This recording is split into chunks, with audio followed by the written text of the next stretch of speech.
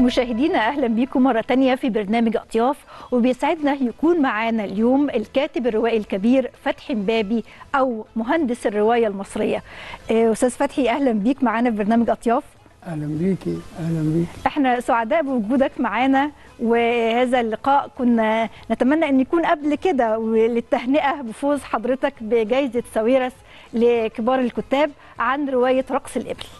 اولا خليني أشكر قناة الحياة خليني أشكر برنامج أطياف خليني أعبر عن سعادتي بإني بعمل حوار مع كاتبة مميزة جدا إعلامية كبيرة قوي صاحبة روايتين من أجمل الروايات اللي كتبوا في الأدب العربي آه، أنا سعيد جدا بوجودي معاكي وحاسس إن ال- ال- الحلقة دي بالنسبة لي هي حلقة يعني هتتسجل يعني إحنا إن اللي أنا أعمل بنشكر. حلقه مع صفايا النجار اللي هي صاحبة مقامات الغضب وصاحبه حسن الختام.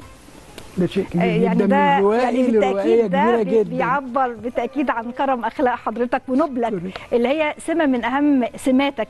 آه الانتقال ومن القاهرة أو آه. الصخب والزحام مع البداية مع بداياتك. وانتقلت من حي الجمالية اللي اتولدت فيه عام 1949 وذهبت إلى ريف إلى الدلتا. ال- هذا هذه الحركة وهذا الانتقال اللي هو يعتبر في مصر انتقال عكسي يعني. الإنسان ينتقل من المدينة إلى الريف.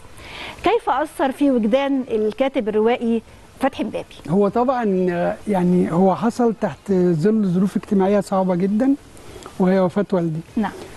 آه لكن أنا كمان يعني بعتبر نفسي محظوظ.